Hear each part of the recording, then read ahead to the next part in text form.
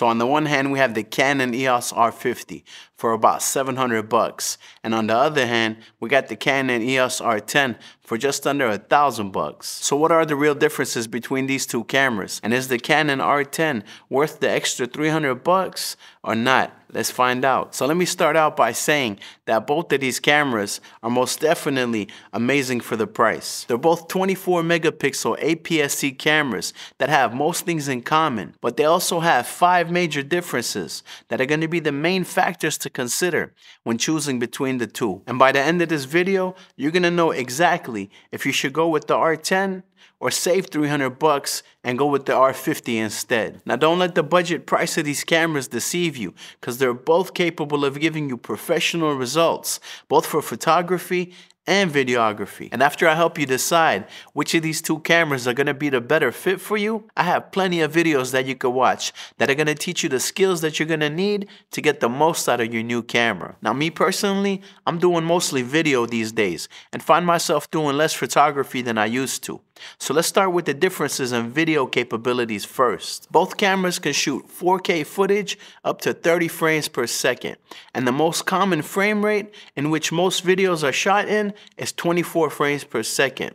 And for the most part, most people agree that it looks the most cinematic, but you do have a small percentage of videographers that prefer to shoot in 30 frames per second. But not to worry, because both cameras can give you 4K 24 and 4K 30 so no real differences there. However, if you want to shoot footage that's intended to be used as slow motion, then you're going to have to shoot at 60 frames per second.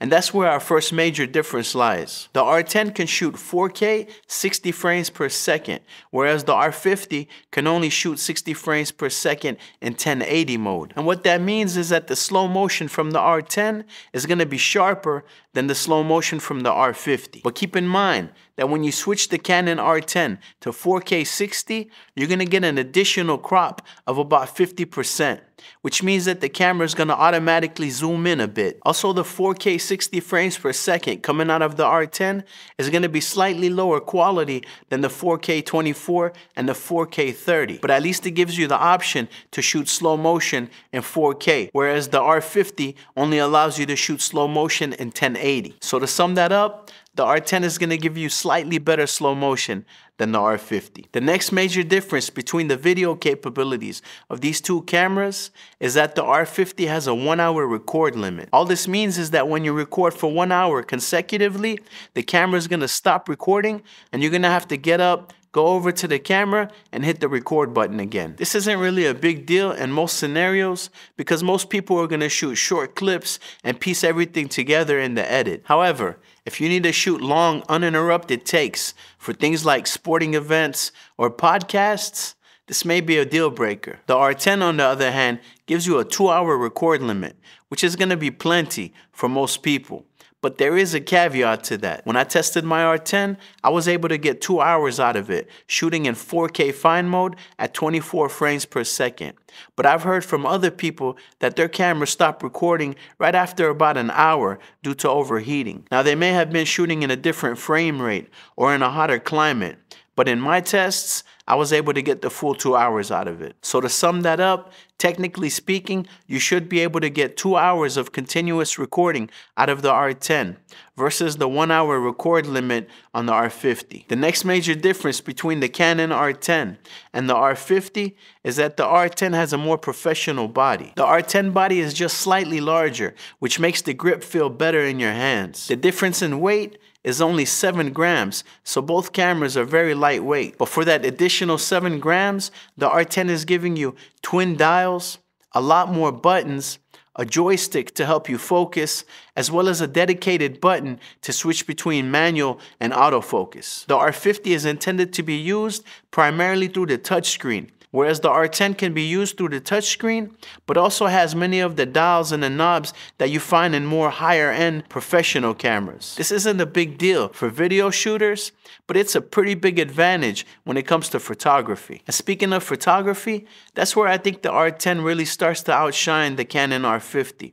Not only due to its body design, but mainly due to its faster burst rate and faster buffer speed. The R10 can give you 23 photos per second in electronic shutter mode, while the R50 only gives you 15 shots per second. The R10 also has a mechanical shutter option, while the R50 only offers you electronic shutter. And what that means for you is that the R10 is going to be a better photography camera, especially in scenarios where you need to shoot fast moving subjects like high action sports. Now, whether you intend to do photography or videography, to get the most out of your camera, you're gonna wanna color grade your footage and edit your photos. And this is really gonna give your images that extra pop. But the downside is that you can spend hours tweaking the colors to get the look that you want, which is why I put together my Filmic LUT Pack and Lightroom Profile Pack, which you can download for only 15 bucks off of my website. And if you're new to cameras and you feel overwhelmed by all the technical terms and the jargon, feel free to leave me any questions you might have down in the comment section. Also, let me know your thoughts. Are you leaning more towards the R10 or the R50?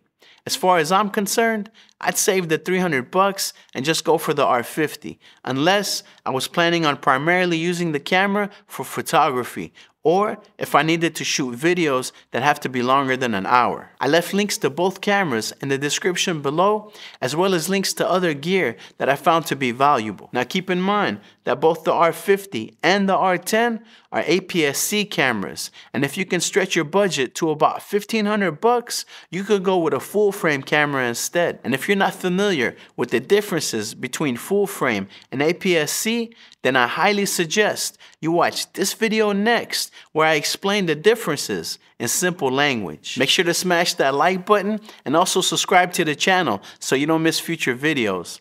I appreciate you watching to the end and I'll see you in the next one. It's Fulaan Creative and I'm out. Peace.